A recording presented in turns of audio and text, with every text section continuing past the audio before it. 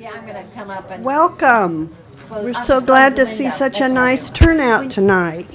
Um, Mano, oh, Hermano asked uh, the League of Women Voters if we could sponsor a program so that they could reach out to our community um, to provide information on the current status of immigration law um, and how changes and proposed changes may um, affect the Outer Banks. Uh, they have done a series of programs uh, targeted to the Hispanic community to help them understand what the requirements are, and um, so they, they wanted an opportunity to reach out. And we found that their suggestion was really quite compatible uh, with the League's mission, which is to educate the community um, on current issues.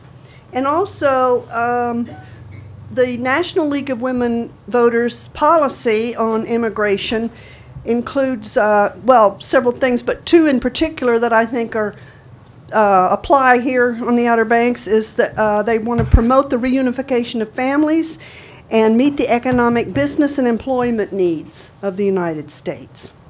So I'll turn it over now to Ama and the panel. All Thank you. Good evening, everyone. Thanks so much again for, for coming. You aim it Uh, projector. Okay, cool. Um, so I want to see, show by hands, how many people here feel like they they know the immigration law here pretty well? Yeah. How many of you, you know, maybe don't know too much? You just want to learn something today. Yeah. Okay. So most of you were in the uh, latter half, or the latter portion, not not knowing much, which is perfectly fine because our laws regarding immigration are messy, complicated, and always changing. Um, so I'm going to um, address three main questions right now. Okay. First is going to be why don't they just get in line? Um, that's a question that I get a lot from people that do not understand the law. Why don't they just get in line? Why do they have to be illegal. They should just, you know. So I'm gonna um, talk about that first question. Second, I'm going to address what is a sanctuary city. What is a sanctuary jurisdiction? Because that's kind of a hot topic right now. You turn on the news and you're hearing about sanctuary city. So I'm going to talk about that. And finally, I'm going to talk about some of the actions that the current administration has taken. And in the interest of disclosure and transparency, I will let you all know that I do not support our current administration, and so some of the things that I say may reflect that. Um, so I will just let you know that. so first question, why don't they just get in line, people? I mean, it's simple, right? Get in line, get your number, get your green card, become a citizen, the end. Presentation's over, we can go home, we've solved the problem. Well, no, this is the so-called line. This is the immigration system in a nutshell in America, okay? Maybe there's some lines in there, there's some lines going up, down, sideways, there's some circles and, you know, shapes of some sort, but this is the immigration system. There is no line. It is a mythical line. It does not exist. There's no single line that people can just go through and suddenly they have lawful status. Rather, there are four primary ways that someone can get a green card. First way that most of us have heard about is through family. Second, through um, through employment, um, and Carlos will speak more about that. Um, third, humanitarian avenues such as um, refugee status um, and asylum. And a fourth way that a lot of people have never heard about, that's the reason that I'm here today, because my father got his green card through the system, is the diversity visa lottery. And it's a system here where um, basically the U.S. tries to get um, green cards to people from those countries that don't have that many immigrants here. So it's a way to spice up the mix a little bit. Um, and so that's how my father got his green card, and that's how I got my citizenship through him, was because he got his green card through the lottery system. And even though these are, you know, kind of lines, um, I will let you know that for many of the people here without lawful status, there is no line, there's no line for them to go through. There's no way for them to gain lawful status to get their green cards. So let's talk about the the, the, first um, method, the first way. That'll be family. Now, family visas are limited to certain close family relationships, okay? And it's new, and they are numerically restricted.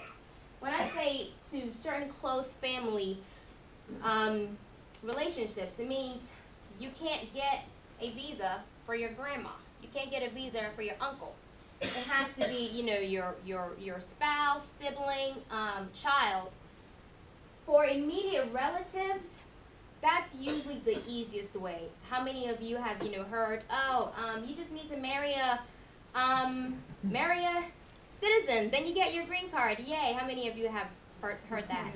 That's partially true. That really is kind of the easiest way, um, is to marry into it if everything else goes smoothly. Okay, and the reason that that's the easiest way because for spouses, parents, if the child is over, um, if the child um, is is over 21, and for the the unmarried children of U.S. citizens that are 21 or under, there is no numerical limit. Their visa's always there for them. Okay, so it's, it's, you know nice, quick, easy. One year, you probably have your visa. You know, wonderful. But for everyone else, for everyone else, numerical ceilings and backlogs. If you look at this chart right here, I don't know if you can see it. So where it says um, F1, do you guys see that? And then there's the, the line. Thanks, Carlos. You're so helpful. F1, this is for um, unmarried children of U.S. citizens over the age of 21. Those dates there next to it, it means today they are only looking at applications that were filed on that date. So look at for Mexico, 15th June 1995. They are just now reviewing those applications that were filed in June 1995, 22 years ago. Wow. So if you're the unmarried child of a U.S. citizen over the age of 21 from Mexico, you, your, your line is 22 years long. No one's going to stand in line for 22 years. Okay, you're just going to cross the border, right? Um, siblings, so um, F4, siblings of United States citizens. Let's look at the Philippines. October 15th, 1993, that's 24 years. It's a 24 year long line. So these are the people that actually do have lines, that do have a means to become lawful residents. They have to wait in line for over 20 years. Wait in line for over 20 years. So it's just not reasonable. Now let's say you do everything right. Whoa, 22 years, I'm finally here, it's my turn. My, you know, and immigration says, yeah, it's your turn. You have a visa available for you. You can apply for your green card. You know, you can try to um, to become a lawful permanent resident. Woo! It's like, guess what? There is a thing called an unlawful presence bar. What does that mean? If you were in the United States unlawfully for over 180 days, the law says you are barred from gaining lawful status. It could be for three years, it could be for um, 10 years, and for some, it's just a permanent bar, period. You cannot gain lawful status. There's no line available for you because you were here unlawfully to begin with. There is a way to waive that bar. It requires you that bar to to to waive that bar requires you to leave the country to complete the application process to have the bar waived. I've had clients that did that, left the country, going through the process, they go to their interview maybe six months to one year later, hey, another surprise for you. We're going to tell you you're still barred. We're going to say that you are a smuggler because you brought your child to the United States with you. You smuggled your alien child to the United States. So you're completely barred from getting lawful permanent status. So there are all these these these bars, you know. Even when you try to do things right, even when it seems like there is a line for you, there are bars that can be slapped on you to where there's just nothing you can do. So for um, the unauthorized doc, um, unauthorized um, immigrants that we have here, it's, it's just not, um, it just doesn't really make sense for them to try to go through it the legal way because you're either having to wait 20 years when you finally reach that length of time, you're risking so much to even try to become lawful in the country. And so um, that's what um, what we have. The second way um, is employment. Um, employment is also not easy. You must generally have a job lined up with someone here who will sponsor you. And I think Carlos will talk more about that. And for permanent employment visas, the bar is usually really high. You you have to be some kind of like super genius researcher, professor, or you have a lot of money. You have between 500,000 and a million dollars to invest in a business here that will create 50 jobs or more for US workers. Okay? So that's it for employment. So again, so why don't they just get in line? There is no single line for people to join, so that's one. Two, for many of the um, the unauthorized people here, there is no line for them because they don't have a you know spouse, they don't have a child who's a U.S. citizen, you know, so there's just no avenues for them. And for those that there might be an avenue, it's just not feasible. You know, it's just risky. You know, would you want to risk leaving the country and then you're told you can't come back anyway?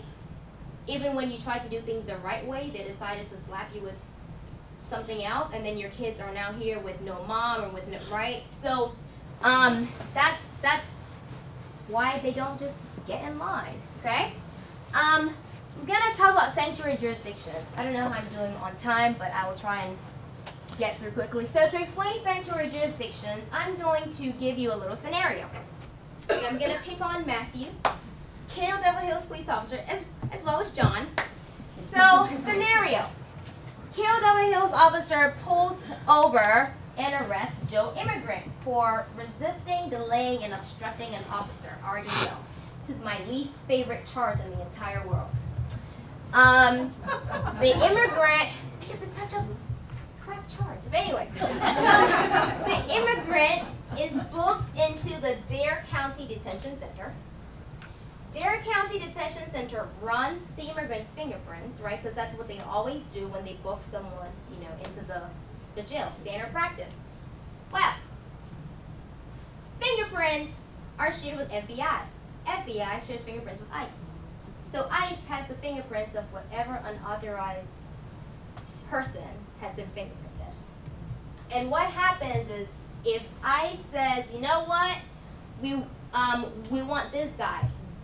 Dare County Center, we're sending you a detainer. We're sending you a hold request. Has anyone ever heard of that? A detainer? Okay. Detainer is a written request from ICE to the local jail asking that the jail hold the individual for up to 48 hours after the person could have and should have been released. I'll explain. If Mr. Immigrant is picked up on Thursday, magistrate sets a bond of $2,000. Immigrant's wife posts the bond Friday. Under our laws, he should be free to go. I mean, he's posted the bond. Liberty. The Constitution. You know, hey, right? No, no, no. If I send a detainer and the jail honors the detainer, the jail can hold him until Tuesday. Okay? Because that 48 hours does not include weekends or holidays.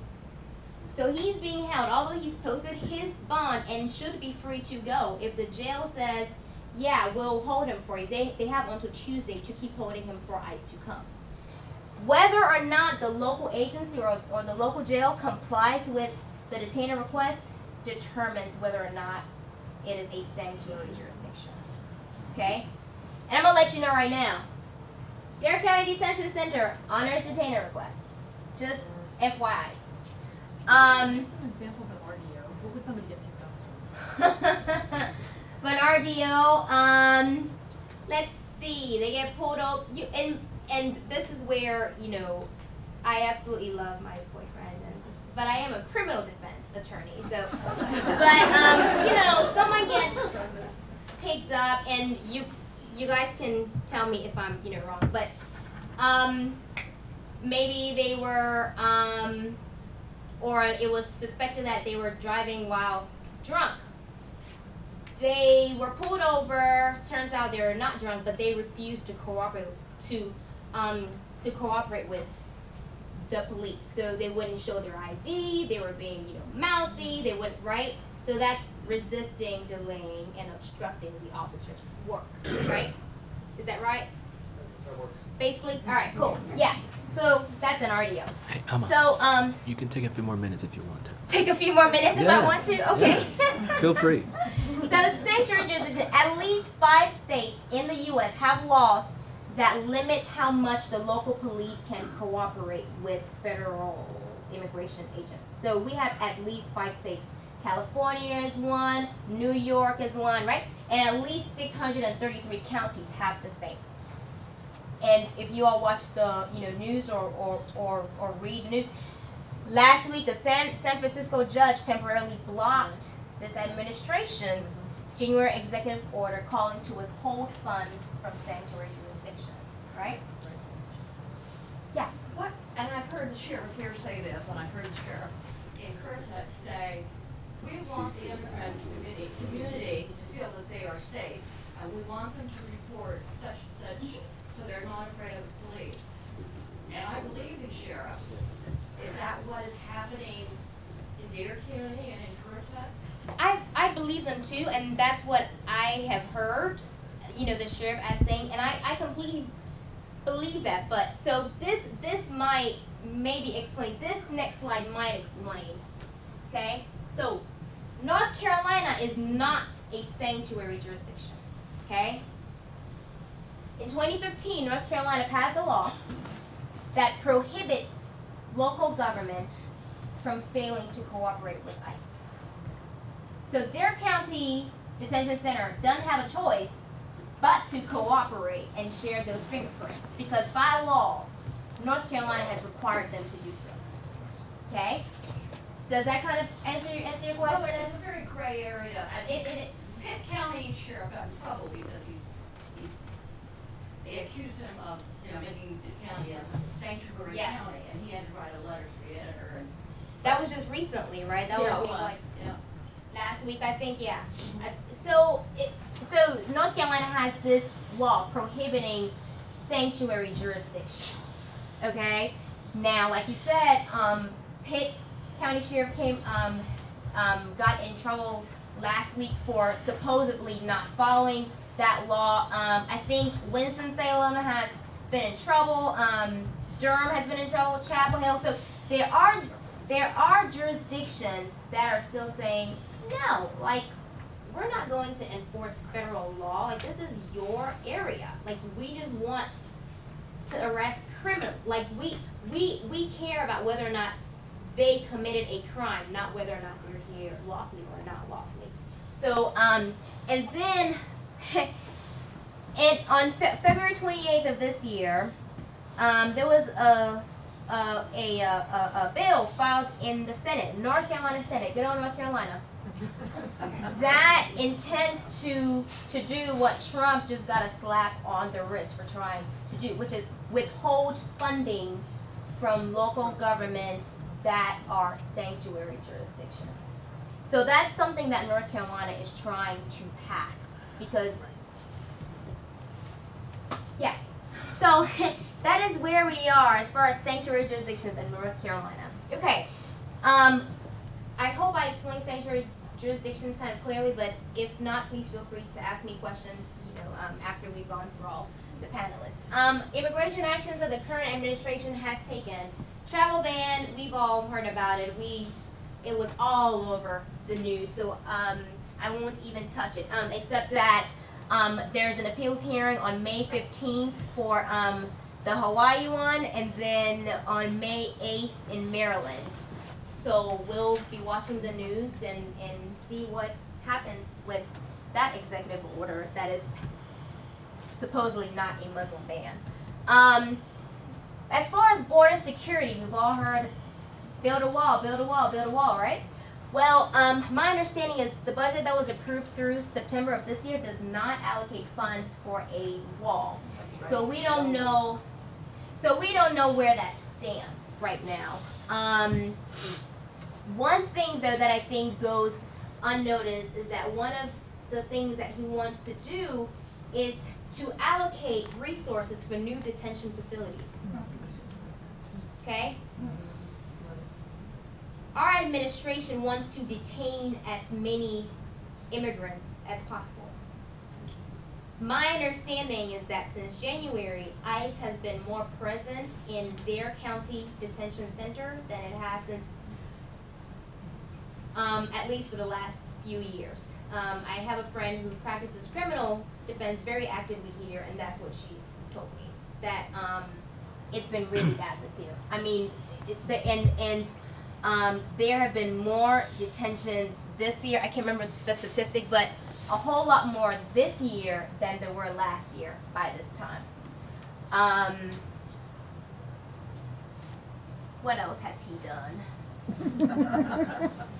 um, we're trying to hire more um, um, customs and border patrol um, officers. I think that number was five five thousand more, and we're trying to hire ten thousand ICE officers. Um, there has been um, the weekly decline detainer outcome report, which is it's supposed to try and shame those um, sanctuary jurisdictions that do not honor ICE detainers. So that's published weekly.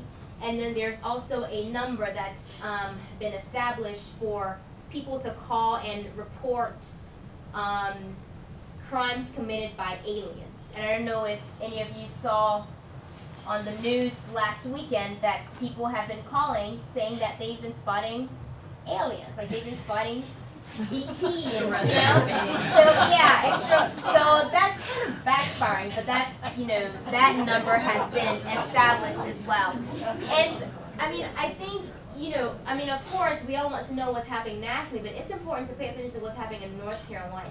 Okay. Um, 287G agreements. Has anyone heard of 287G agreements? Okay. So we know about secure communities, which is the um, fingerprint um, sharing that's done with our local jails and with ICE. 287G agreements is a step further. It's an actual partnership. It's an actual signed contract between local law enforcement agencies and ICE, which ICE delegates some of its job to local law enforcement officers. So they get to perform legitimate immigration enforcement actions, like serving ICE warrants, like questioning about the background of um, people.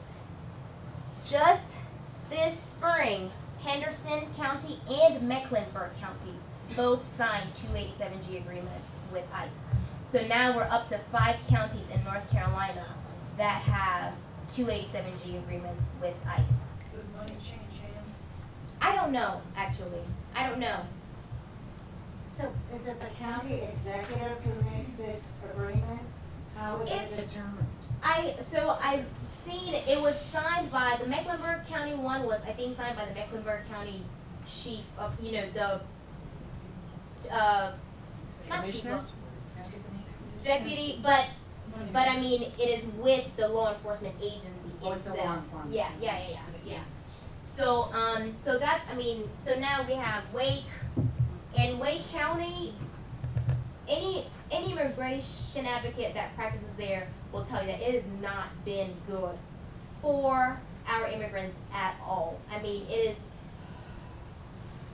it is terrible. Um, if um, if an immigrant gets picked up by law enforcement in Wake, it's almost guaranteed that ICE will come and pick them up. Okay, um, because they have some law enforcement law enforcement um, officers there that act as ICE. So you don't have to wait for ICE to come, they're already there in the jail through the law enforcement officers, okay? And then, this is my last slide, employment-based immigration. Um, I'll just say that, um, that hasn't been touched too much by the current administration. Um, and especially thankful, um, H, um, H2 visas, which are the visas for seasonal workers, which, um, I believe that's what most of the workers that come here to the Outer Banks to work, those have not been touched, thankfully, for the employers on the Outer Banks. So Carlos is going to talk a little bit more about that. Um, and these are some of the resources that I use. Um, these are all the final two, of course, government um, resources, but that's uh, they're they're usually very helpful to know what the actual law is, what the law says, and then um, the first four are also very helpful. So that's all I have to share with you right now. I you know have to pack a lot into 15 minutes. There's probably more than 15 minutes, but please feel free to ask any questions after everyone's done. Oh, Is that something you can share? the PowerPoint or the Yeah. resources? Yeah, sure, sure. I'll, I'm put it on the website. however we can. Oh yeah, we can put that on on on the website. Yeah, I could do that. Yeah. Okay. We have, I didn't realize there were more. If you want us to hold questions to the end? Yes, that's Okay, I didn't realize Linda there were more. asked. people. Okay, yes, they're all they're all gonna speak. Sorry. Okay, I'm done. I have to close this. Should I stand or can I sit? you can stand. Just Are you- close Are you standing or you're you sitting? Are you gonna do this? I don't know. I'm just gonna close that so it's not distracting. Yes, ma'am. I lost the. I don't know if I should sit or stand. Stand? Okay. and I can stand back here, I guess, or I don't know. Um, well, my name is Carlos Babilonia, as I was introduced. Um, I have been with Hatteras Realty for the last three years. In April, this, you know, we, I just turned three in the company. From before that, right before I started there, I was working in the Coast Guard. I actually did both. Through my last three months, I was trying to get a job before I got out of the Coast Guard because I couldn't afford living anywhere, especially here in the Outer Banks, without a job, even with a military retirement.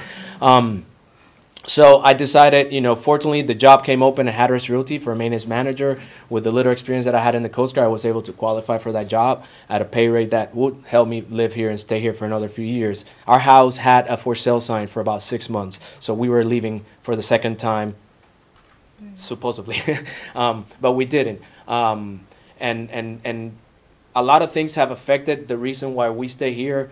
Some of you, I, I mean, I lost an election last year. I, I don't think some of you know me for that, but 25% of the voters voted for me. So I think that I was very fortunate enough to get the word of those 25% because nobody knows me. I mean, I've been here for three, five years, sorry, and, and I mean, I, I, I, 25% of the voters for Hatteras, to me, that was pretty good. And, and, and I promise the folks at Mano Al Hermano while I was running for Board of Education that I will help them after, even if I win or lose. So I fulfill my promise, and uh, when Jessica called me and asked for my help, I decided that yes, I will be here whenever and possible. Um, because I am fortunate, or, or I was fortunate enough to be born in a place where I don't need a citizenship to get a job. Um, I, I have it already. I was born with it. I have the second language to help me with that too.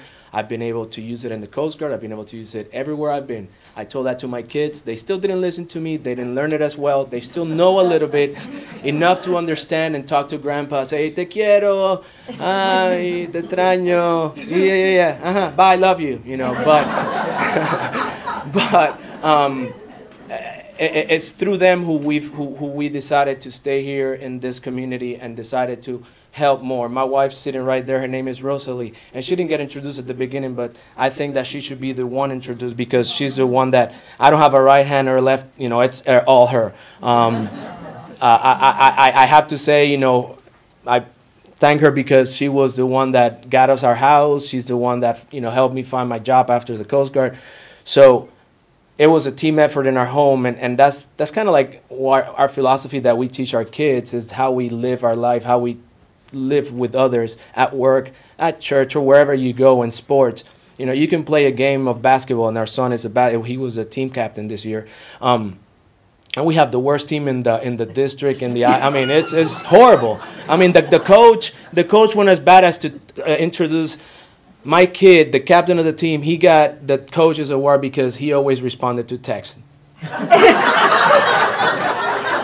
so so that's you know and, and again this is something that to me it hit me hard because i, I, mean it's, it's something that you when you do a sport and you have a different ty- different kids from different homes different cultures and they're playing together and they learn how to play together for that 20 30 40 50 whatever time they're in that court they're expressing to us how to behave in public with others. We don't know how to do that most of the time. When we're in front of people that we don't understand and we don't know how to treat we treat them with disrespect via facial impressions or, or, or you know whatever we do. And I, I, again i was fortunate enough to be born in a place where i don't need the citizenship or whatever but i was fortunate enough to also have light skin and a second language. So join the coast guard and first thing basic training. Three puerto ricans go to basic training together. So we're like yes. You know i'm not going by myself. Um, leaving an island and a plane to go to another airport it was a long process but nonetheless, you know, it was very fortunate to me to find people that I was with and held me throughout the seven and a half weeks where I received prejudice because of my speaking and whatever it was. And I still do. I mean, I still do. And I, I, I learned how to deal with that. But I don't think that everybody knows how to deal with that in either end and, and how to give feedback back. So sometimes, you know, at work, I'll have people, what did you just say? It's like, hey, come on, I'm trying here. It's my second language. You know, this is not something that comes out, hey, I know how to speak, you know, and I, I, just know two. I mean, some folks know three, four, five, six, seven. We in the United States, we do a horrible job at educating our kids and not teaching them two languages since they're kids, since they're this old. You know, I did a bad job in my house. We did a bad job by not forcing them more, but it was also because of that same pressure that they receive in the community because our kid was forced in an English Anglo community. He felt he was white like me, where he was basically expected to speak English, and whenever he tried to speak, he didn't speak. So he was afraid. We started speaking English at home. Whew, done, no problem. He speaks. I mean, and the doctor said he doesn't have a speech impediment. I'm like, what? What are you talking about? so, well, and those are some of the experiences that I, as a white Hispanic, have faced in 16 and a half years in the Coast Guard and five, you know, three working in the private sector. I mean, I can go on and on. I have 10, 15 minutes. I thought I didn't, I have enough to say, but I think I may have too much to say um, from just experiences. But um, here in Hatteras, three years um, in this company, in the Coast Guard, I had to take, send people back home as a, as a law enforcement officer of immigration law enforcement officer that the Coast Guards are, and I was one. And had Cubans tell me, please, sir, in Spanish, no me mandes para atrás, don't send me back. You know, they're right there. I could see the beach from the boat. And I had to tell them, I'm sorry, sir, it's my job. I have to. So here, I mean, as a, in the private sector, it's not the same, but I had somebody very close to me, and you will guess my wife. Um, she had the job, and I mean, and, and, and I know that this is going to be on YouTube, and, and we are um, we worked for the company, and it wasn't the company's fault. But about three years ago, background checks started for employment. Guess what happened to all those employees that were working for us that didn't pass their background check? Bye bye. You don't have a job anymore just because you've been working for us for this long and you're a great employee. But guess what? Just because you're from there, we can't have you. It was her job to go to them one by one and tell them, sir, ma'am, I'm sorry you're no longer an employee of us. And that's very hard for a person to take, but it's a decision that is not made by the person, but the people, they see that person and they take it upon them to decide, well, it's their fault. They're the ones that are doing this to us. So we took, you know, some companies did take a bad hit, hit when that happened, especially us in the island where we were letting go of migrants and stuff. But it was law. It wasn't the companies, you know, we were have to abide by the law. Now, we were short staffed, of course and we still are. to this day, we're paying for that. To this day, every year when it comes to recruiting season, this year I went as far as Edenton. I was there a few weeks ago recruiting people in Edenton to work for Hatteras Realty, to work for us, to you know come and and and and do the seasonal jobs that we need. You know, we have lack of you know uh, applicants. Um, I don't even want to go into numbers, but I know the H2, which is what I also need to talk about, that's a long process, and they the, they're the ones that help us when we don't have employees right now. When housekeeping doesn't have enough cleaners and they get a house that needs to be cleaned last minute, hey, summer crew, which is the H2 guys, hey, we need you. At this house ASAP. Those guys can, I mean, that group of folks, they're so disciplined. They've been coming here for over 15 years, some of them. They were recruited by Stuart Cowles, the founder of the company. And he, they have, a, they have uh, memories. I picked them up in the airport twice already. And when they come, all they want is to come here and, and, and, and just do what they can to help.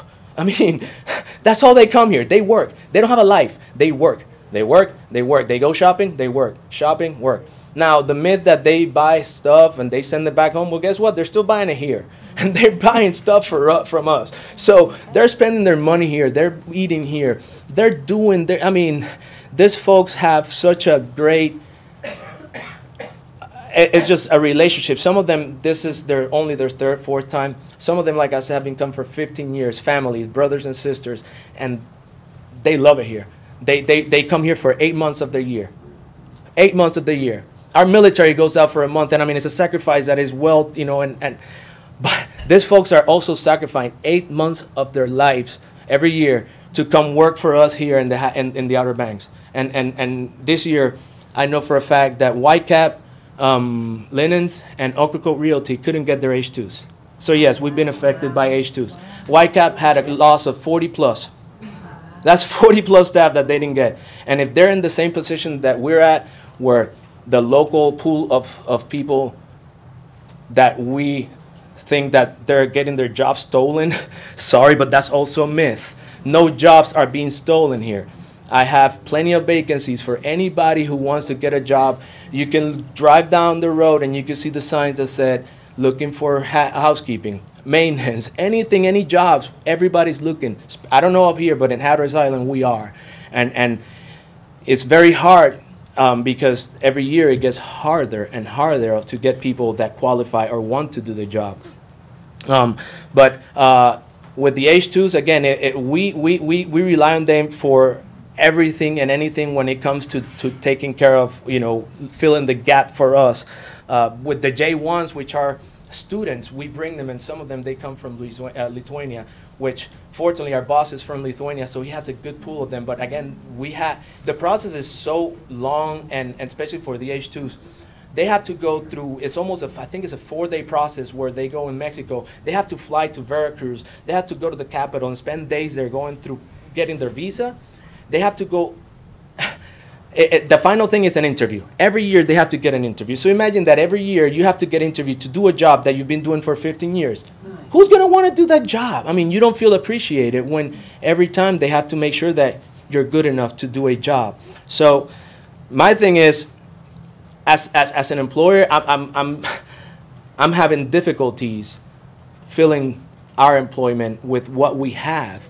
And we have so many folks in the community that I've been with them in their homes and I've have Christmas dinners and, and illegal status, but criminals they're not because they have families. They're they're all they want to do is do their part. They come to me and ask me, "What can I do to get a job? I want a job. Hire me." I mean, can you? No, I'm sorry. You have to have a piece of paper that says that you're good. And to me, that's just very hard because, again, there's so many that need a job and they have to find it, you know, under the table. And, and then, again, who, who, who, who's to blame for the money not going into the economy when those folks are trying to do their part, but we're not allowing it to happen. So I do, um, I don't have that much more. I mean, uh, stuff that didn't get uh, you know in the beginning like i said i, I did run for the board of education. Um, i do uh, at the church uh, I, I was very active for you know my wife has now taken that spot and she's the teacher for the um, um, uh, first communion kids um, i used to be in charge of outdoor service the youth group and all that but we had it was very hard to compete again with the community in Hatteras itself, and this is something that I said in one of the forum that we had in Hatteras, in Buxton, in the Fessenden Center. You don't see young people out in any of these, and I'm sorry if I offend or, or or make anybody feel bad, but some of you folks shouldn't have to worry about these subjects and should be home being able to relax. And people like us in their 30s and 40s should be out here taking care of their things.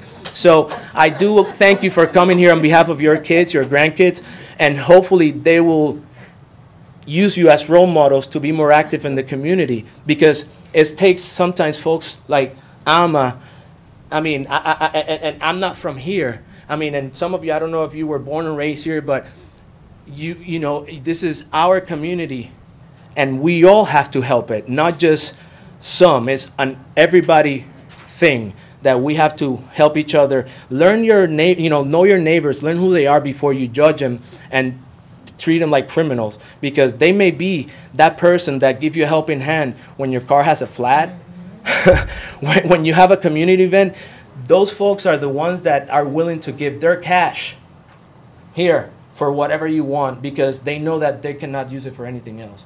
So if there's any questions i will answer questions too after um, jessica and kay are done. Thank you.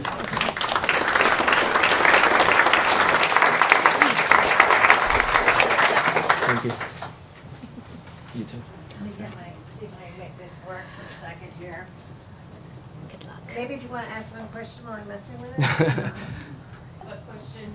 Um, uh, just a minute ago, uh, when Carlos said about the H two visas, um, couldn't get them, or could, some employers can't get them, did you mean there's They- an allotment of number of H two visas, or you can't get people to want to apply for the H two visas? I didn't Well, understand. what happened was, I mean, in, it, it, yeah, there's an allotment of H-2 visas that are granted per year, and this year, with all the changes in the laws, with all that they, the Oak those two companies for that, what I know for certain is that their process wasn't started early enough for them to get into that pool. Whereas us, we've been doing it for so long that we have um, almost we have an agency also that helps us with that. So they were able to cap, you know, get our, our, our allotment early. So, but yeah, they reduced the allotment of H2s, if I'm not mistaken, in the Outer Banks. Yeah. Any other questions right now? It's fine, yeah. Okay. Uh, my name's Jessica, and I was, I had some notes, but I thought I tied into what both Ama and Carlos said. My father was a refugee from Germany. He had political asylum. He was active against the Nazis in the early 30s. Within six months of Hitler coming into power, my father was active against him. And he came, he was blacklisted, put in jail, and came to the States. He had sponsors, he had a PhD already. So I'm one of those lucky ones too. Who, and he was one of the lucky ones too, that he had refugee status. He was a political refugee and came to the United States in 1935 and he became a citizen and actually became a captain in the U.S. Army and went back and fought against Hitler. And he was part of Army intelligence and helped plan D-Day because he interrogated high-ranking German prisoners that were held in Great Britain because there was no front then. I mean, so that was my background. And he was also the only people that were active against Nazis then were the communists and the Marxists. So when Carlos was talking about people being tough on him, here I am, come from educated family, nice white skin, and I had German parents. And I was born in 1950 when he came back, and my mother had a very thick German accent. So I was shunned a little bit in public school for that reason. And I couldn't say, well, they were the good ones, they were the communists, because then we were. we were in the McCarthy period then. so I refused to speak German. So they said my father had a sabbatical, and I went to school in Germany, three different schools when I was in second grade, and learned German all over again. And then came back and started doing what they called code switching. I wasn't really sure if I was speaking German or if I was speaking. Um, oh, I'm going to stop this. Oh, that's right, it's on timer. I have to, hold on, I'm gonna stop this thing now, end show, sorry. I have to give you my introduction first, I'll start it again. So, um, I came back and they were teasing me again, then I refused to speak German until nineteen sixty-five. And he sent me back to boarding school in Germany, and this was during the Viet, this was during the Vietnam War, and I was a dirty American. So then, um, this is a little bit of a segue if we're going for entertainment. I graduated from high school in 67 and I was supposed to go to Barnard and instead I went to Haight Ashbury. So that was 50 years ago, the summer of love. Definitely. and um, and had to do my education later with a child and all that kind of stuff. Married a Puerto Rican, a dark-skinned bilingual Puerto Rican, lived in uh, Vermont, and had rocks thrown at my house, and was called an M lover. Oh. So I've had, a li- even though I have all the privilege, I have the brains, the looks, the white skin, I have a lot of empathy for when that, that happens. And I know that it makes me angry, like, and I know I can deal with it, and I know that for me, it's just a little passing moment. I mean, it's not every breathing minute of my life. So I came to the Outer Banks in '84 after a not too pleasant divorce, had three children to raise, and that's why I went into real estate to make money. But I knew that I wanted to do something real, something with people, you know, from something to make my father proud for everything that he had done. And so my goal was that by the time I was 50, I'd have the house paid off and the girls through college and I could do what I wanted, which was teaching. So I was a closet graduate student while I was managing a real estate company, and I got a uh, master's degree in teaching English to speakers of other languages, and wrote up a proposal for our superintendent saying that we really needed some more ESL teachers, and it got approved. But then I had to compete for the position. So, so that's how I started with ESL. Now the presentation I was going to show you, if I can get it back to where it's supposed to go, is not my, I'm just going to close this for a second. I'm changing my whole approach. Tying into what Ama said about law, this is the good news about education. The children in the schools are protected in the schools. And there were three Supreme Court cases. And the first one was Lau v. Nichols. And that, in that case, it said, just because you give the child a desk and a book, that is not equal education. That you had to overcome the educational barriers. You had to provide a true education. You couldn't just say, and that was that was a lawsuit that was started by a Chinese family in, in California. So that put the pressure on people to actually provide a real education and address the strategies and things that needed to be done for people to actually learn a language and learn the content in math and science and social studies. Then on top of that, there was another case called Castaneda versus Pickard, where they came up with a way to measure whether that was happening. And, and you had to have it, it had to be based in sound theory. You know, you couldn't just put somebody in a closet and put on a strobe light and say, speak English, and then let them out of the door a day later and it worked. You know, it had to, it's, it's almost that bad sometimes. But it, so it had to be sound and it had to, you had to actually do it, and then you actually had to have results. And that's good and bad. It's good to have the pressure do that. The bad part is that it led to a lot of testing, a lot of, um, I wouldn't say equitable ways of, of measuring whether there was really progress there or not. But the intent started out to be good with No Child Left Behind, but it got, it got kind of rough. And then the third one, which is really important to our children here, was Plyler versus Doe. And in that one, the, these are all Supreme Court decisions. The Supreme Court ruled that under the 14th Amendment, all children have a right to public education up to the age of 21, regardless of where they were born, regardless of their citizenship status, just they all had a guarantee to that education. So the good news is that when the children come to school, they're protected, they're supposed to be getting a good education, and it was a big learning curve when I started in Dare County in, what was it, 2002? Is that what right, Nancy, about then? I mean, the normal thing for registration was to ask for a social security card. That was part of the thing that you did when you registered a child. Well, they didn't have it. Some of them don't even have birth certificates if they've, you know, left the country in a hurry. So there was a lot of learning curve here because when I first moved here, I didn't hear very much Spanish. I couldn't really keep my Spanish going too well, you know. And then I started hearing a little bit more and a little bit more. So when that magic 50 came along and I got to choose my new career, I started seeing Goya products in the supermarket. I started hearing Spanish and that's what I'll do. Mm-hmm. I can do this. I speak Spanish. I can speak English. I know what it's like to learn another language. I know what it's like to have to go back and forth between cultures and languages. So that's why I started. And my very first year, there were maybe 65 ESL students and English second language students in Dare County. And my first year, I was in, there was one teacher in Manteo and a part-time teacher at the First Flight Schools.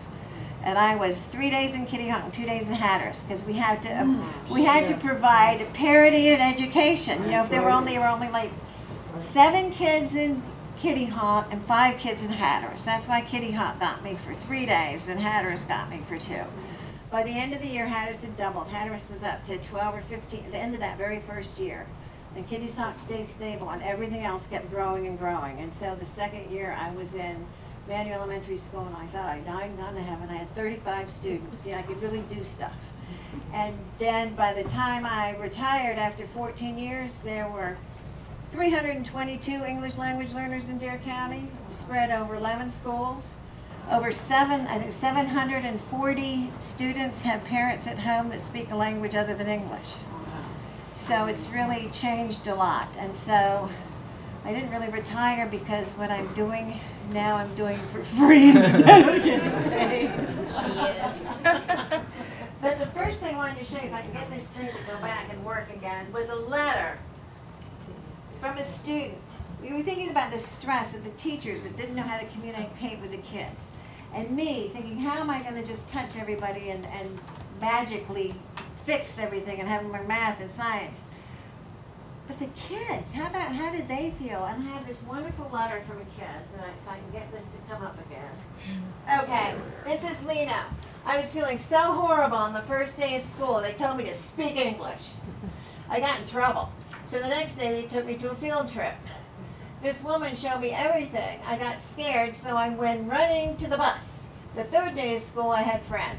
On the fourth day of school, my teacher asked me to spell dictionary.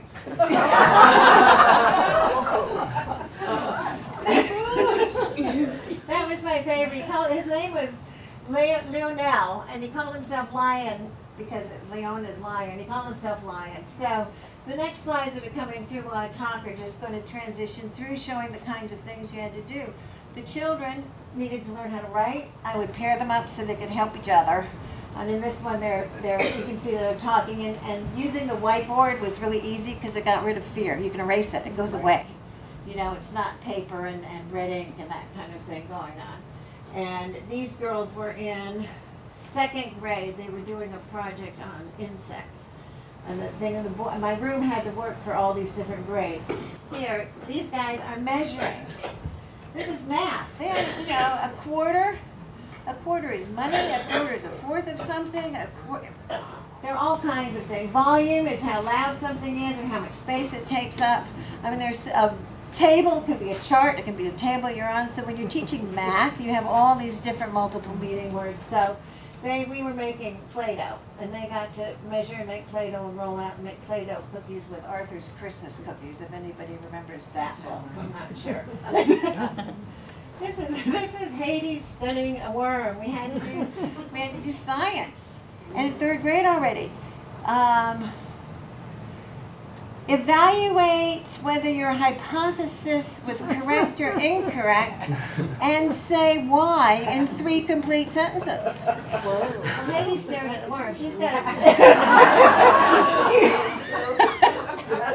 See.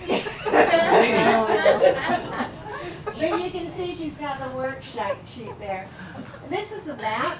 A lot of the classrooms had roll down maps. I didn't, but I found it was much better to make it. I draw the map in front of them. They could move the labels. You can see the equator's hot, that's why it's in red.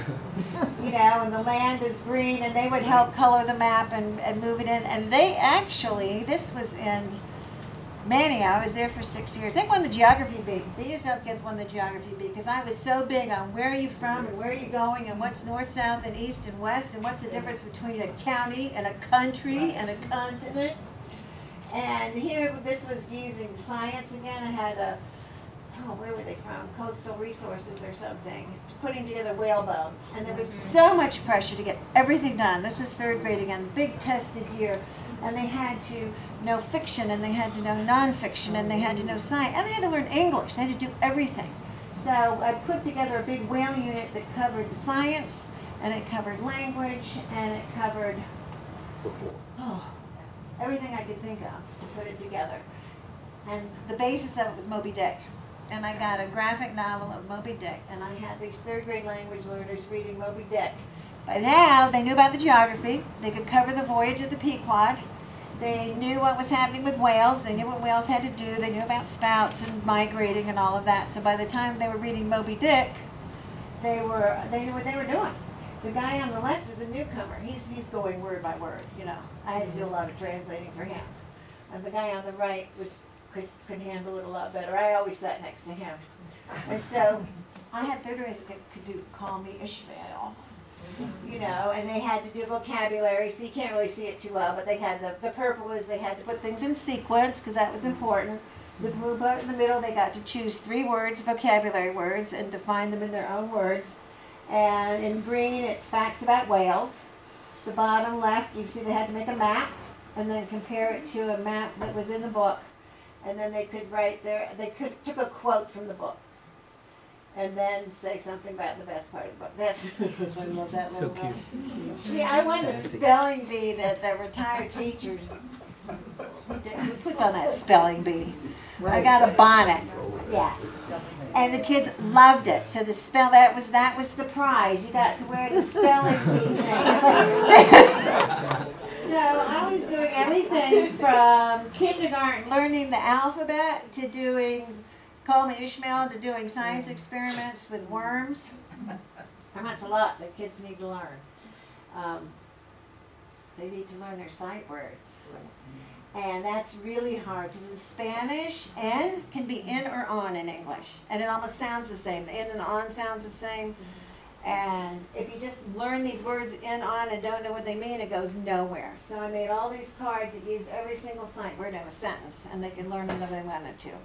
Because you wouldn't know the difference between here, I can't hear you, and here mm-hmm. like here unless it's in a sentence. And then they had to copy it down. I give that to newcomers, to kindergartners, fifth graders, anybody that needs to learn language. I went for entertainment value. This was a Bloom ball. Have you heard about Bloom's taxonomy? He takes he takes mm-hmm. education from the mm-hmm. lowest to the highest. And we had all the different levels of taxonomy when we studied explorers, and he did Marco Polo. And so we did everything from describe, they had to create a map about the voyage, and, and they had to take a quote, one thing that the, the explorer said, and so we, we took it all the way up from describe and remember all the way up to evaluate and create. He's pretty proud of that Bloom ball. The whole school. By the time I'd been there for a while, instead of people being afraid, oh, we don't want the kids here, you fix them, they were saying, give me the kids. We want them. The parents are supportive. They're, they're fun to work with. We want them in our classroom because you'll come help us. Custodian Luis from Peru would come in and play, that was a poetry lesson. He beat out the rhythm on the drums. And the teachers were wanting to get the kids. It was fabulous because the parents were, the parents would say, your job is to get an education.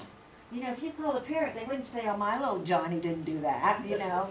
they would support you. And they invited teachers. This was on Dr. Seuss Day, and so she, she was reading the Spanish and I was reading the English. She was much more dressed up than I was for Dr. Seuss Day. but we started, the parents started getting braver about coming into school. So that it's nice that the law, you know, I'm seeing that all my captions are on the ceiling instead of in front of the picture, but All right. technological. and that, see, you can even be president. Right. Brian dressed up as George Washington on President's Day. His mother made the curls with white pipe cleaners. And there he is. You can even be president one day. Now these most of these kids are the ones that were born here. So they can they can be president someday, you know. And I forget what my last one is. That might be my last one. It is. That's it.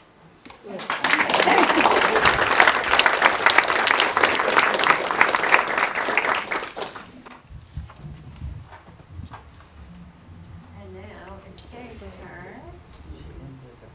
Try and use the microphone because my voice doesn't carry as well.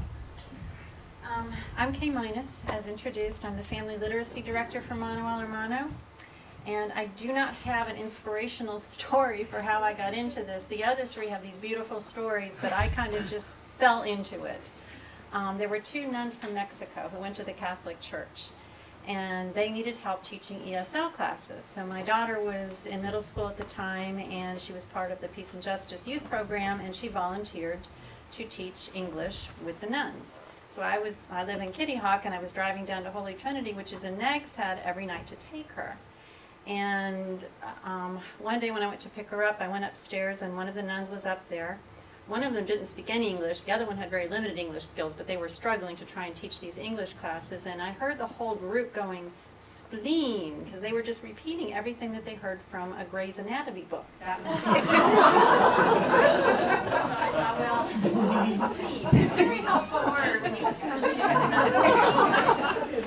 So I went up to Arcadia, who was the nun, and I said, you know, I could probably help you a little bit with this, and I'm welcome to stay. So she said, oh, yes, please, please. So I kind of took over the class for her, and that's how I got involved. So I was thrown into it. I had never met a Latino person up to that point. I did not speak Spanish. I still don't speak it very well. I can understand a lot, but um, I didn't know anything about the culture. I didn't know anything about the community. I didn't even know if I wanted to teach English as a second language classes because I had never thought of doing it before. So within my first couple of weeks, I had all of these people coming to me with their problems because I was with the nuns. So there was kind of an almost instant trust base there. Mm-hmm. And I was getting asked to handle court cases, and I'm not an attorney, who were asking me to go to court and straighten out problems. We had someone who needed brain surgery. I had somebody with a, a birth certificate that was incorrect. So all of a sudden, I was thrown into this community that I knew nothing about, in a language I didn't understand, with all of these issues and problems that they assumed I knew how to fix because I spoke English and I was born here. And to this day, that's still the case. I think all of us who work with this community get asked all kinds of questions with all of the, the issues and problems that they face and expect us to know how to solve them. Um, but that's kind of how I got started. And when I first started working in ESL classes, they were all men and no women, no families, and um, very transient. I would see almost a different class every week for the first couple of years. And then over time, we gradually started having women coming to the classes, and they started talking about their children, and we had more family-based community. And that's pretty much what we have now. We have a fairly stable Latino community here. We do get some newcomers coming in from time to time, but most of these people have been here for 10, 15, even 20 years or more. Um, the fact that I never noticed them before doesn't say much about me because I never really even noticed Latinos till I started working with them when I started teaching ESL classes. And over the years, as we started getting more families, they were asking me to help with their children because they were in the schools now. They were getting homework assignments they couldn't help them with. They were getting forms that were sent home. And even when they were in Spanish, and to this day, that's something we still face, even if it's in Spanish, they don't necessarily read in Spanish or they really don't understand what it's all about. So there was this huge disconnect between the families and the, and the, and the schools. So when the second Mano Al Hermanos started, um, I, we were trying to think of a program because we were kind of in a rut as far as what we wanted to do. And we had a gardening program, but we didn't really have a lot of else, other things going on. So understanding that there was a need for a literacy program, I approached the director we had at the time and said, you know, this is something I really want to do. And the board agreed to let me go ahead and experiment with this and get started. And so we started the family literacy program. And that's where I met Jessica because, um, in fact, Chuck, who's sitting here tonight, I had called him on the phone. He's the counselor at Nags Head Elementary. And I said, who would I call or who would I talk to to get my foot in the door with the school system? And he recommended Jessica because she was the lead ESL coordinator at the time. So I met with her in the spring and said, this is something I'm thinking on doing. And I think she was very grateful to have the help. Wasn't sure whether it was going to work or not. Neither was I because I had never done anything like this before either. So over the summer, I started thinking about how I wanted to run the literacy program. Um, after working within the community, I realized that having a learning center was not the way I wanted to go. I didn't want people bringing their children or us transporting children to have them tutored. I wanted to kind of fit in with their culture and build on their strengths. And while they have a lot of challenges, I have to say their greatest strength is their unity of family and mm-hmm. community. So I wanted to do a home-based program. I wanted to do home-based. One, it eliminates transportation, but two, it also, if you have somebody coming to your house on a weekly basis and showing that you care enough to show up and help that child with their education, it says something about the value of education. And the many challenges that they face are obvious. Some of them, the socioeconomic status, um, many of them live below the poverty line. Um, they also have the language barriers. They have the fear of authority and institutions to get over. And also, most of them didn't receive an education in their home country, or a very limited one at best. I had many students when I taught ESL that had never gone to a day in school. And most of them had not finished the sixth grade. Sixth grade was almost like finishing high school and college in their countries because they had to quit to work to support the family. And that is one of our greatest challenges, I think, today is to kind of overcome that idea of quitting and helping the family. That if you can get that high school diploma, you can help them a lot more. So that's one of the things that we're really trying to encourage that they at least stay in school to get the high school diploma. And then make up your mind if you want to go work, help the family for a while, great. But that's our overreaching goal is to keep them in school. We currently serve about 60 families and over 100 children every week. We have about 35 volunteers, and many of them are here tonight. Um, everybody goes out to a home once a week and helps with homework assignments or projects or literacy skills that need to be reinforced. There's one of them. There's one of them. Yeah, there's Rosemary's here tonight. There she is, and she works with a, a young little girl that I think she's fallen in love with, and and Susan has too. And there, I can name several of you here tonight. But our tutors get so involved with the families, and as I and as I mentioned before, they have a very strong family unit. So when we go into the homes, they're very gracious. They're very welcoming. A lot of us get fed very well. Um, and a lot of our tutors take their children out to other field trips to their own homes. It's becoming a real bonding experience for the Anglo community as well because you normally wouldn't get to meet this community in such a close and up personal way. So it's a way for to form bonds. And that was one of my plans too. I kind of wanted to I mean, I was understanding how wonderful this community was and how much they had to offer, but a lot of the people, even if you're empathetic towards them, don't always have the opportunity to meet and get to know them. So with our tutoring program, we've really spread the word that this community has a lot to offer. Um, we also have, I mentioned briefly, we have a gardening program, and we just started this spring a children's plot. So we have children that are meeting every Wednesday in our community garden, and they're going to be growing food for their families. And it's it, they're having a ball. And I know nothing about gardening, but we have some really good gardeners who are helping us out. Alma's laughing because she knows even less than I do. I have found out. she didn't even know what a strawberry and a radish was. I thought it was a cherry, not a strawberry. but it was a radish, apparently.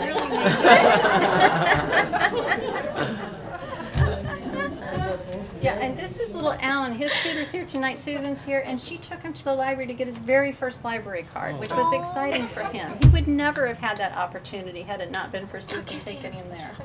So, you know, our children get to go places they never get to go.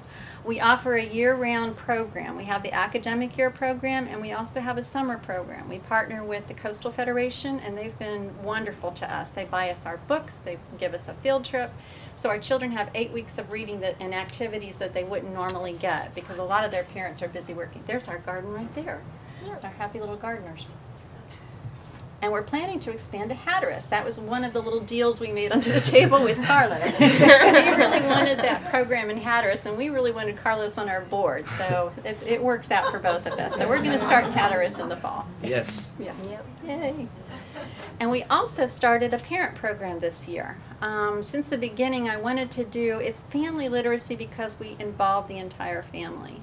And I wanted to have an educational program for the parents as well. And when I set this up, I had a very distinct picture in my mind of how I wanted that to look. I wanted the parents to be in the schools during the school day because if you come in during the school day where your children are going to school, you're going to feel a lot more comfortable going to parent teacher conferences, all the activities that they do. You're going to feel a sense of ownership like you really belong.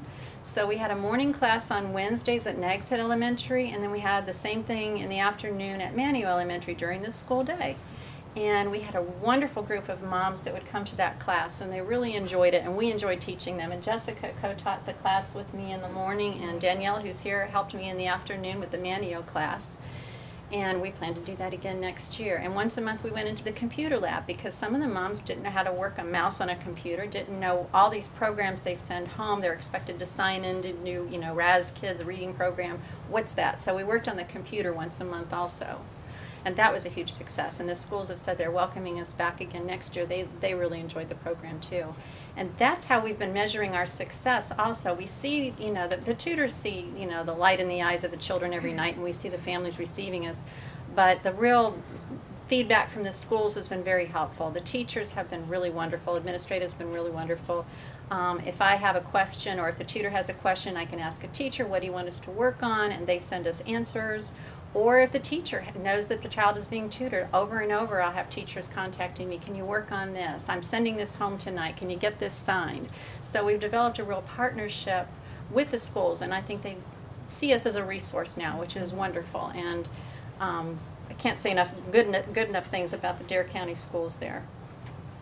Um, briefly, what I want to say too, in terms of what Ama was touching on, in you know, most of the people that I work with are undocumented and do not have that path, as Ama pointed out. They just have no hope. And most of the people in our community, all our first generation people are under, almost all of them are under the age of 18. We have a different community than some of the cities do. Some of the cities have second generation people. We really don't. We have first generation under the age of 18.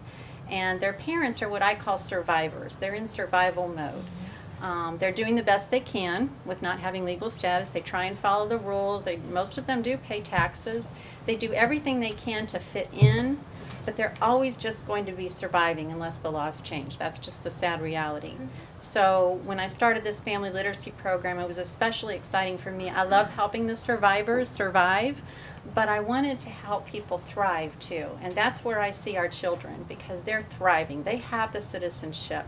They have the opportunities that their parents dreamed of because I was just recently reading a book I picked up on immigration and the same quotes from 100 years ago with the Irish and the Italians and everybody else.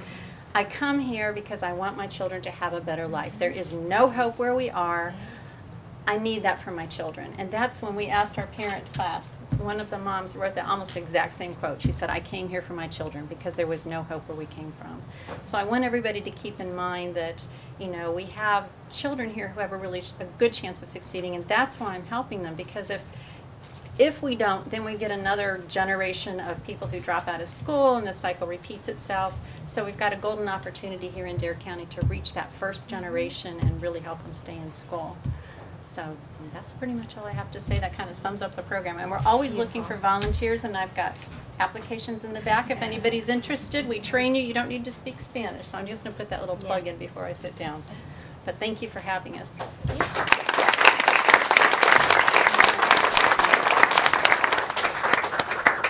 Thank you all. We really learned a lot this evening, I think, and now we're going to open it up for questions from the audience. Um, Anybody have a question? Uh, Would, you- should we come to the mic? I'm I'm afraid they can't hear you if you don't, so if you don't mind. And, uh, well, she's coming, who who else has a question? You can be next. Okay, you want to get in line? Not that line. Not that. really, dude.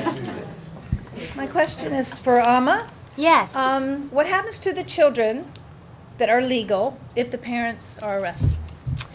So the um either the parents take the kids back with them or the kids stay here. Um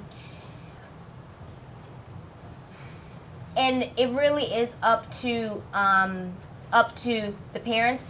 Um immediately what happens to the kids is, you know, they might not have anyone to take care of them. Um, that's something that we've really been trying to work with um, the community um, here on is that you you never know when it is that ICE might come knocking on your door. You never know when it is that you might go to court for a traffic ticket um, and ICE is there at the courthouse waiting for you, like they've been doing in multiple places now.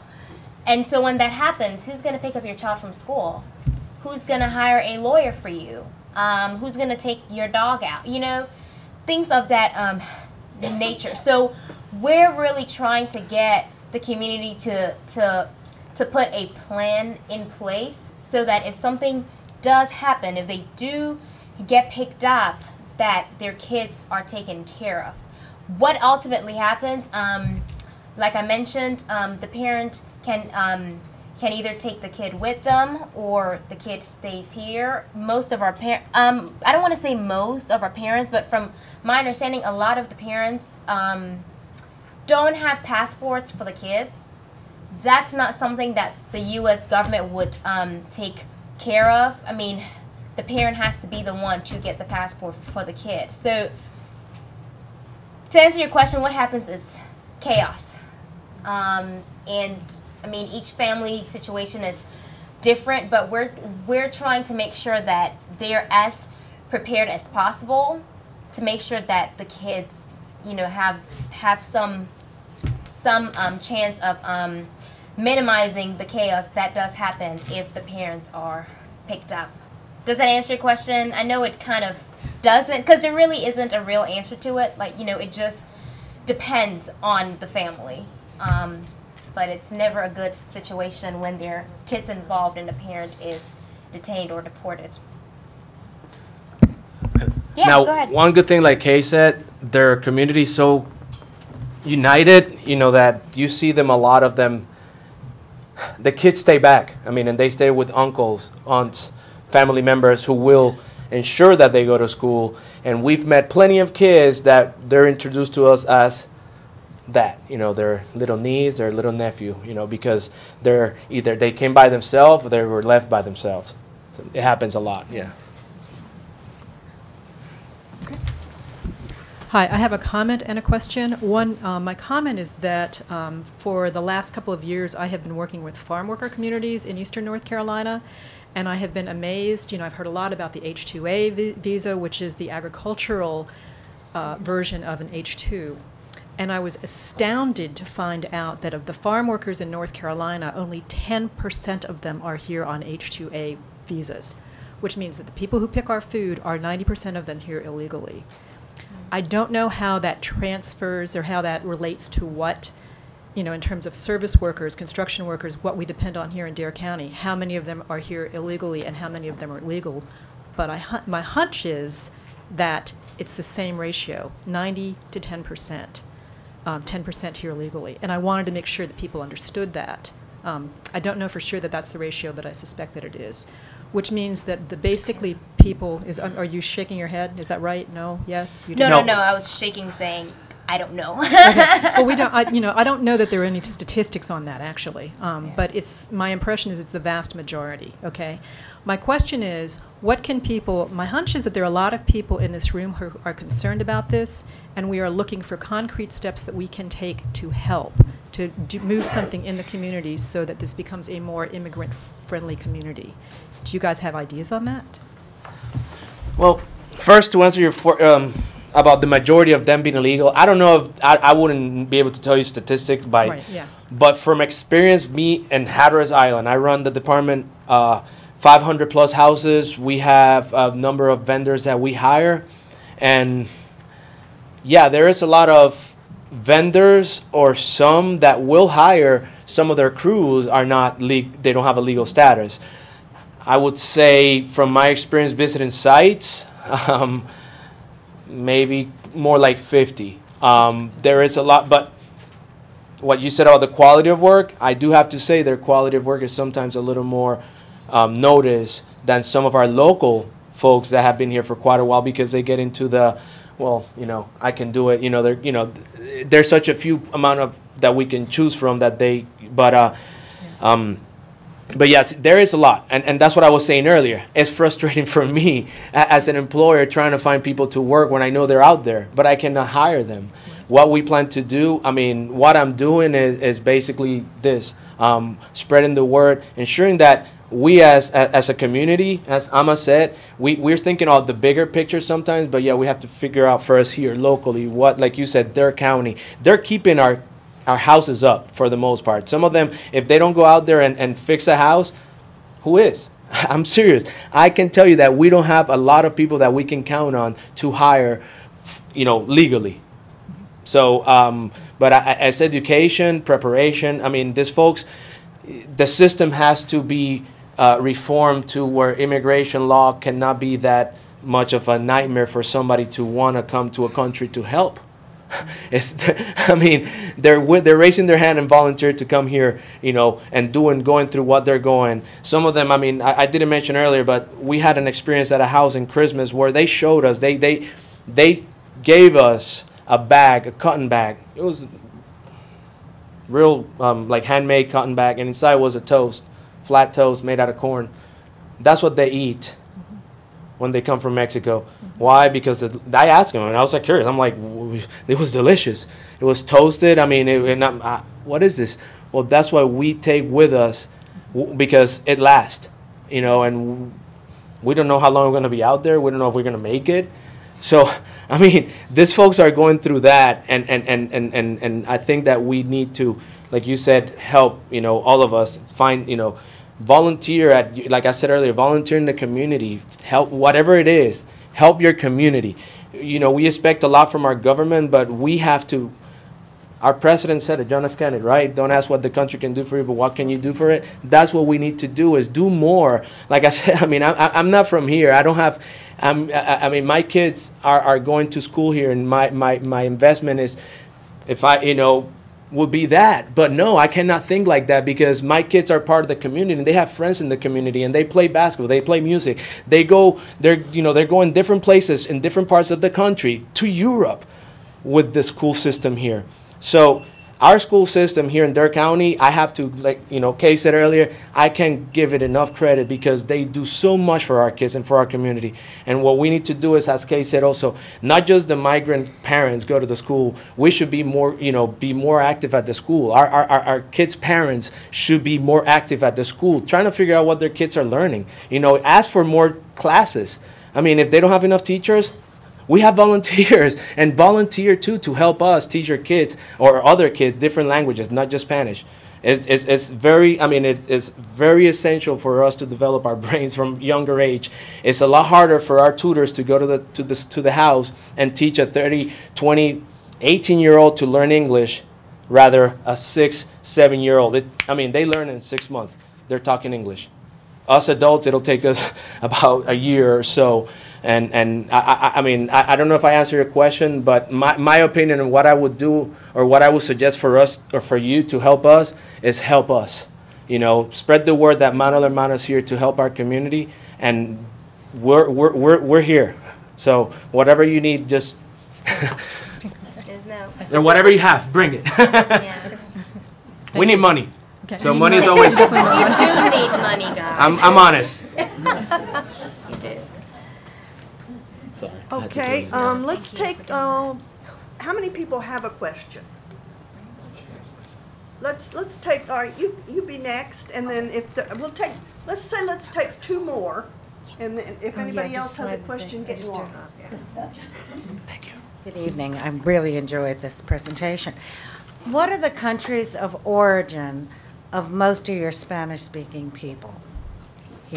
I used to keep the statistics for Dare County schools, and I'm just gonna give a rough, I mean, I could pull up, I could look it up, but um, the majority, I'd probably say ninety-five percent are Latino. There's a sprinkling of, of Chinese that have been adopted or come here, and, and some East Europeans and some Albanians that won the diversity lottery, like Ghana's father did, but majority of Mexico, and then also Honduras, Salvador, Guatemala, Peru, Colombia. Colombia, not too much Really, from Colombia? Colombia. A few, Oh. a few, but not, yeah. Yeah, yeah. Apparently had. But that, that's the majority. Okay, And do many of them ask for asylum? From, I'm thinking Honduras, Ecuador. countries. Okay, the central, the, okay, now I'm gonna get in trouble because I'm gonna tell you that I'm not the attorney. Okay. But if you, if you are Me- a Mexican citizen and cross the border, you cannot ask for asylum. Only the Central American countries can ask for asylum. And so that's why there was a, a wave of unaccompanied minors, that they called it, that were crossing the border on purpose, giving themselves up because they knew they could ask for asylum. Now, asking doesn't mean you're gonna get it. And so you have to sign in, you have to say where you're going to be. Like, like we had quite a few come in the last several years into even this year coming into Dare County schools. And they have to go report to the immigration authorities, and there's no guarantee. And once they're 18, they're adults, so that status goes away automatically. So I think there's a lot more hope you, that, that the asylum route will work for somebody than what it really does. But it, you do get across the border if you're from Central America. And I just wanted to throw, just because you men Shin Asylum, I do want people to know that that's it's a very high standard and a very long, complicated, complicated process to receive asylum in the United States of America. Okay, in um, especially for Central American individuals lately, it's been even more difficult because the last few years, um, we had so many people that were seeking asylum from Central America, so it's become even harder. Um, and what else was I gonna? I think that may have been all I was gonna It say. is yes, difficult. it I mean, is- if you even think very about the. Iraqi interpreters that aren't getting asylum status, you can imagine that somebody that's just crossing the border with a Yeah. T-shirt on is not going to be given priority. They have to have I some mean- sort of persecution or Yeah. some- Yeah, from the you have to be government. per- persecuted. Yep. Um, I was going to ask, um, I had heard that there's also a prison system set up that's run privately. And therefore, if somebody were picked up here, they don't just send them back to Mexico. Oh, They go to a prison. Yeah. And these are private prisons that have been set up by the present administration. They make a lot of money doing this. And even in Charlotte, they cannot send their detainees to their own prisons. They go to these private prisons. Yeah. Is that accurate? So, um, there are um, detention facilities that are run by the Department of Homeland Security. Well, let me take that back. Department of Homeland Security facilities, but they but they are pr- privately run facilities. So if someone gets picked up in Dare County today, they there's um, Charlotte Immigration Court, but there isn't a facility in Charlotte to detain the immigrants. So they're first sent down to South Carolina, and then for the most part, they're sent over to Lumpkin, Georgia, which is in the middle of nowhere, to Stewart Detention Center. Okay, that's where most of the I, I can't remember whether it's a, a male only facility, but that's where they're taken. It's in the middle of nowhere. You have no contact with your family, and I mean you're down there within a matter of like two days. Um, and then they have they call them family detention centers. Most immigration advocates refer to them as baby jails because what these family detention centers are is they're supposed to help keep, you know, the moms with their kids. But they're not I mean, they're jails. Our immigration advocates will, you know, go there, you know, and just want to, you know, talk to kids or and they'll tell them no you can't give them candy. You can't bring them toys. You can't do this. You can't do that. Like it is a baby jail.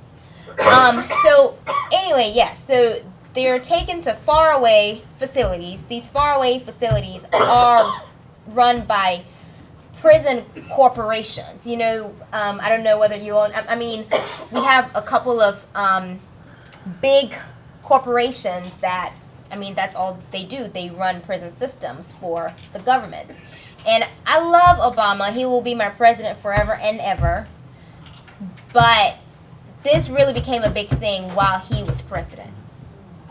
Detention facilities became a big thing while he was president. You know, so it's something that um, was a huge problem when he was president. You know, and and it's only going to get worse under our current administration with them trying to fill more beds in the detention facilities and with them trying to build more detention facilities. Um, did that answer your question? Yeah. Okay. Let me just add one thing to that. There was a, a student whose father was deported. The mother, I mean, to what Ama was saying, didn't even know where the father was. I mean, took weeks to even find out where he locate him. was. Even even to locate even to locate the father. So it's it's rough. Uh, yeah, I had a question um, specifically regarding uh, actually interpreters. I had an uh, acquaintance um, back in college about two years ago, and uh, he served in Afghanistan. He grew really uh, close with an interpreter who I guess was assigned to their unit, some such thing. Um, and, and he talked a little bit in the class I was in with him about how lengthy and tortuous that process was before these insane travel bans. You know, the guy had been waiting five, six years in a country where he could potentially be held responsible for reprisals by people who didn't like that he was, you know, working with our armed forces. When these travel bans were instituted and then quickly, you know, uh, temporarily blocked, um, did that send everyone to the back of the queue? What effect did that have on uh, on the process of people who've who say been waiting for Afghanistan and Iraq for you know X For refugee status, you mean? Yes. I don't I don't know that it actually did anything. I mean, I think yeah, I don't know that it actually did um, anything as far as like um, sending people to the back of the queue just because I mean, you know, um, again, things were blocked so quickly.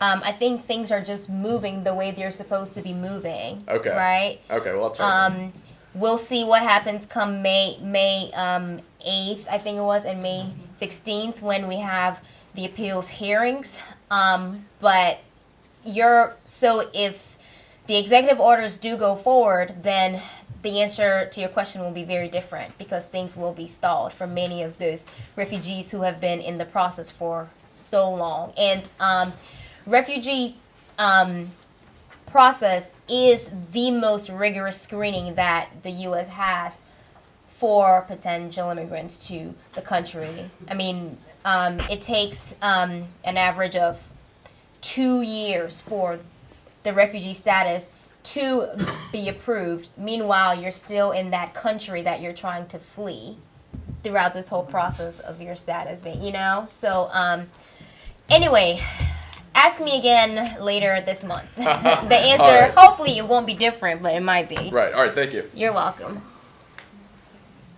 Hi, thanks for being here. It's been really enlightening. I worked as a legal assistant and um, in the criminal defense world and was um, really taken with the toll of the driving while license revoked charges.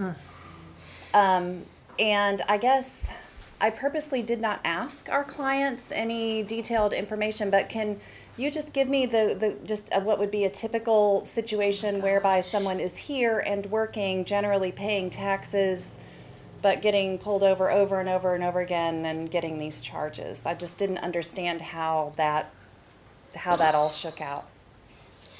So that goes into an area of immigration that I absolutely love called crimmigration because it's the combination of criminal and immigration. It's very complicated. Um, the answer to your question, you know, has to take a whole bunch of legal analysis because there are um, of some of the bars that I mentioned. We also have criminal bars and um, good moral character bars, things of that nature. And so, um, depending on whatever um, crime you've been convicted of, that could change whether or not you can gain um, lawful status, um, whether you can become a citizen, whether you will be deported. Driving while license revoked, I honestly don't remember the legal analysis of it now. But I mean, when you think about driving while license revoked, you know, or pretty much most of the traffic violations we have, a lot of people don't really think that they're they're that serious, right? You're like, oh, I got caught driving while license revoked. Oh well, you know, let me pay this, you know, you know, fine. Let me do this class, and in one year I'll get my license back. Well, if you're a green card holder or undocumented, that could mean you're getting deported. Um, but at some point, I'll do the more precise legal analysis because it's been a while since I've done it, and then I can answer your Well, it just seemed more. like such a tragedy that a person would be a member of the community, mm-hmm. be employed, be paying taxes, sending their children to school, and can't drive to mm-hmm. work and can't drive their children to school or drive to an appointment.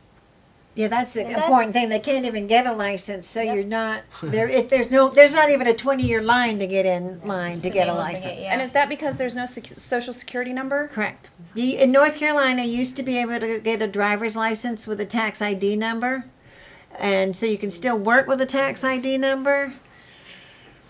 And that way, then, and withholding is taken out, and it helps pay my Social Security and some of your Social Security. But the actual employee is never going to get any of it because it's not a Social Security number. So it's it's kind of a strange thing that the IRS created so that employers can deduct taxes and withholding. But not ever give a social security number, thereby not ever Right. being. So the um, employee never gets the a North Carolina benefit of driver's it. That's correct. But I do encourage parents to do that because they will have a record of having paid taxes. So when and if immigration reform does come around, they can prove that they were paying taxes and they were employed. Thank you. Yeah. But yeah, that's a question that, you know, we get quite a bit too, is well, why won't they just get a license so they can stop being pulled over? Well, because they, they can't get a license, because the state of North Carolina won't get, let them get a license. I think there, how many states are there that do allow undocumented? Maybe three. Washington, Yeah, Washington State, Maryland. yeah. But it's, yeah, you, California. they just can't California. get a license. Now, now having the license doesn't take away the fact that you know some of those folks are getting, you know, screen just because they have a, a different, you know. I mean, uh, seriously, I mean, there's when you go to sometimes to some offices, there's, you know, two forms of ID requested. Where some folks are asked for that social security card because you know they want to make sure that they're actually citizens. So, I mean, just be, you know, and, and, and I had that experience happen to my wife and I. They asked her for a social security card, not me. so I could show my two proofs of ID.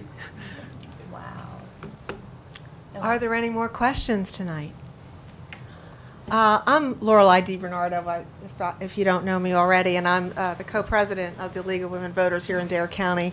And this is what I love about my job here. There's so much to know and learn about this, and I really thank all four of you tonight.